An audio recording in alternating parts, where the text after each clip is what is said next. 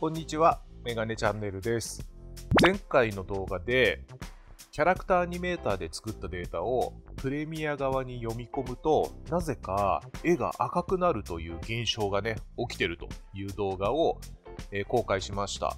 で、一晩経ってですね、えっと、はい、Adobe のサポートのページがあってですね、こちらの方にも、まあ、質問というか問い合わせをしていたんですけれども、そしたらね、一晩経ってみたら、あの返信をいただいていてですね、それを見ると、これがね、僕の書き込みだったんですけど、えー返信をいただきました。ありがとうございました。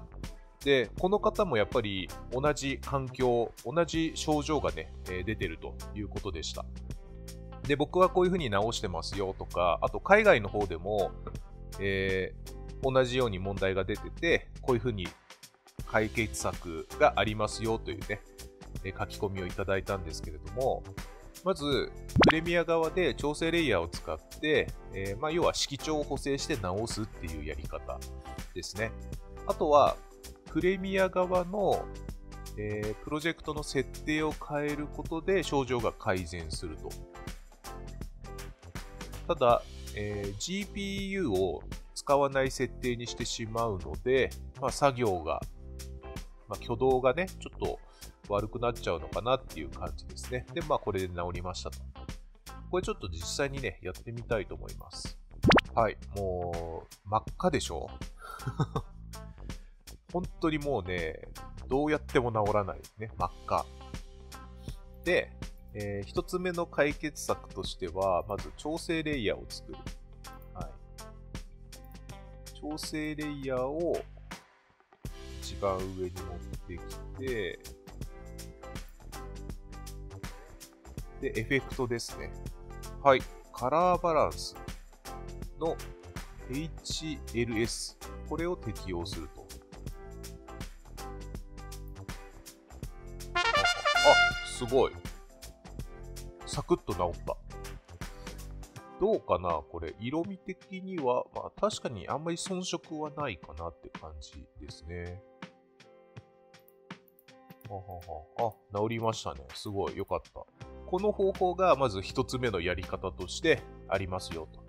二つ目のやり方はですね、メニューバーのファイルのプロジェクト設定、一般を選んで、レンダラーですね。レンダラーをソフトウェア処理に変更。これで改善されますよと。あ、治った。本当だ。えー。ただやっぱり GPU 使わないってことですよね、今の。GPU の高速処理、まあ、推奨されているものをソフトウェア処理に切り替えたので、まあ、作業にね、多少支障は出るのかなっていう感じがしますね。今のところ、見た感じ一つ目のやり方の方がいいかな。GPU はそのままで、まあ、あくまでね、これは応急処置ではあるけれども、まあ、でも思ったより遜色ないっていうか元のイラストとほぼ同等の色味が出てるので、えーこれで問題ないかなと思います。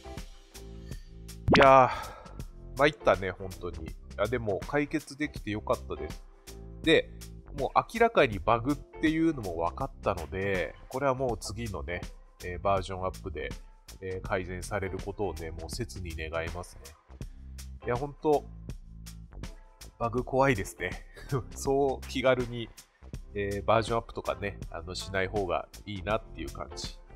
まあ、あの一応ご報告という形で、えー前回の動画のバグはあのこのやり方で解消されたよというね、お知らせの動画でした。今回、本当、自分一人の力じゃね、解決できなかったんで、Adobe のサポートコミュニティでね、あのご返信いただいた方とか、あとね、キャラクターアニメーターの LINE のコミュニティとかにも入らせてもらってるんですけど、そこでもね、問い合わせて、えー考えてくれた方がいたりとかね、あの本当に感謝ですね。ありがとうございました。